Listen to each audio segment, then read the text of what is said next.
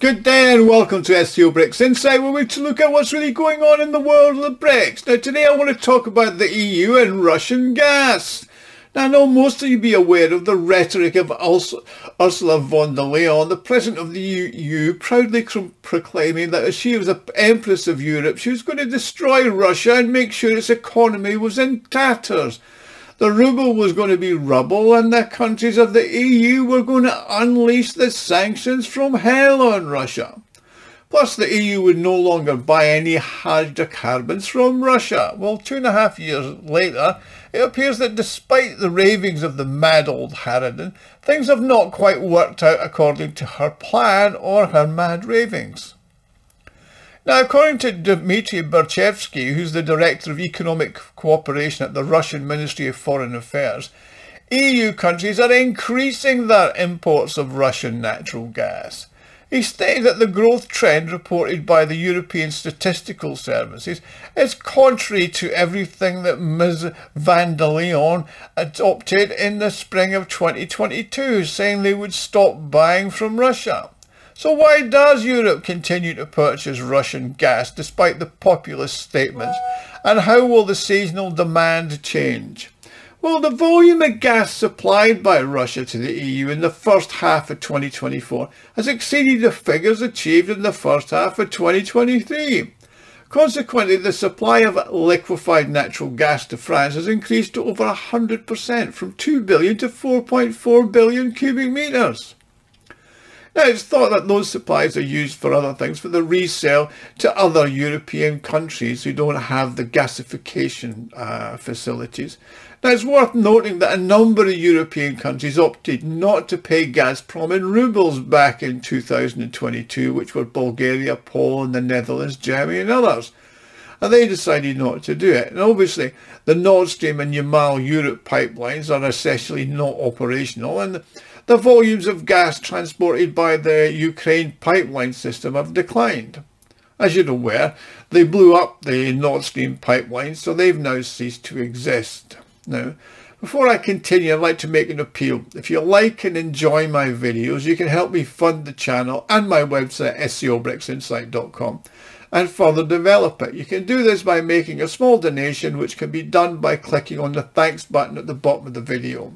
Everybody who uh, does contribute and donates uh, does get a personal thank you. And by the way, thank you all just for watching.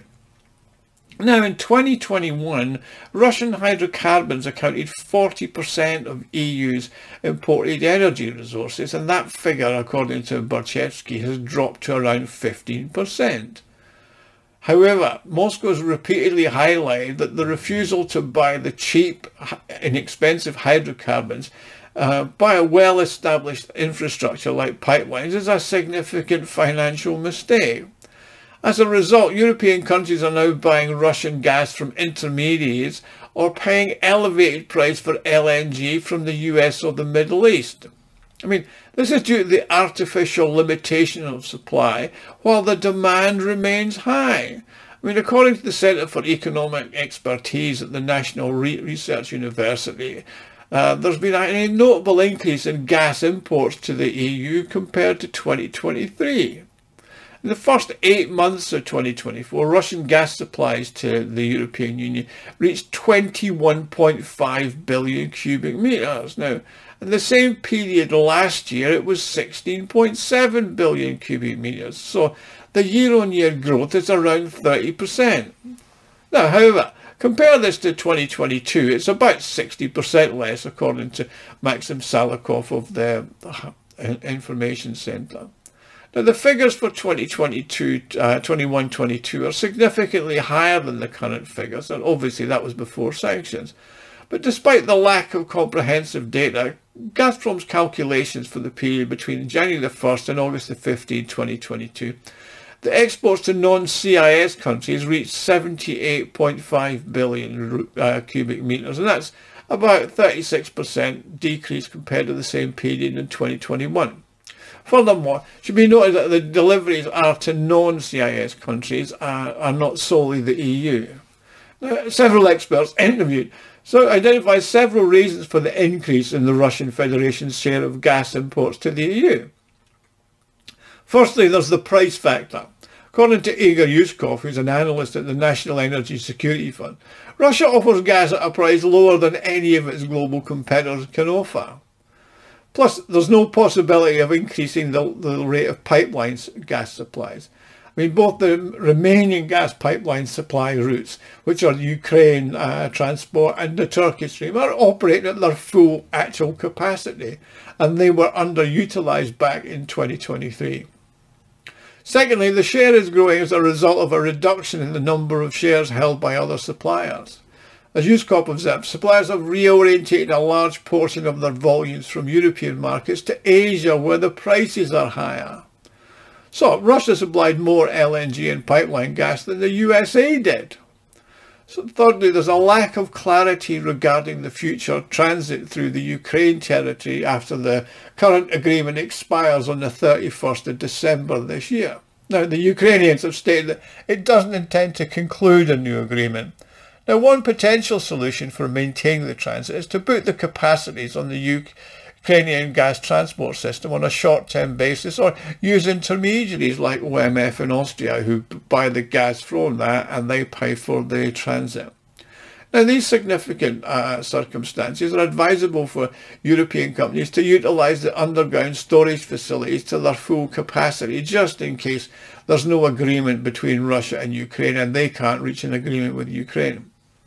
Mean, the intention to utilise the current facilities to their full extent is evidenced by the gas storage facilities are already 90% full, despite the target level being of the EU Commission being 90%, and that's by November the 1st.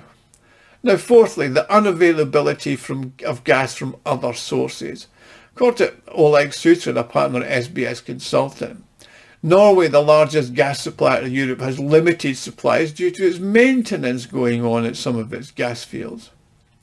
Now, compensation for supplies is possible in the short term for, through pipeline gas from Russia, but as we said, it's already uh, been up to its maximum. Also in parallel, prices for LNG in Asia have increased and American gas has flooded to that market. It's only feasible to make up for the shortfall from the nearest and largest and plus the cheapest, Russia. So while there's political obstacles to doing business with Russia, the lack of alternative suppliers forces European companies to turn to Russia and uh, basically bite the bullet. I mean, the reduction in Russian gas supplies from 2022 has resulted in the European market being a premium, with prices higher sometimes than they've been in Asia. However, despite a reduction in prices, weak demand is going to persist in Europe. Deindustrialization. I mean, in 2023, gas demand fell by 7.4% after a decline of 11% in 2022. The notes that operational data indicates there's going to be a continued decline in the gas demand, which will make the Asian market the premium one once again. Now this winter, the situation in the EU will depend on a combination of factors related to the temperatures, the volumes of Ukraine transit and the availability of LNG on the world markets. Meanwhile, it's indicated that prices on the European market are going to remain around 420 to 450 per thousand cubic meters, which is more than double what they used to pay Russia for its pipeline gas. So despite all the rhetoric, they're still hooked on the needle of Russian gas. Now thank you for watching. Please like and subscribe. If you enjoyed this video, you can help me fund the channel and the website scobricsinsight.com by clicking on the thanks button at the bottom of the screen. Now don't forget the comments section. I do love to get comments. I do love responding to your comments now. I'll see you all again soon.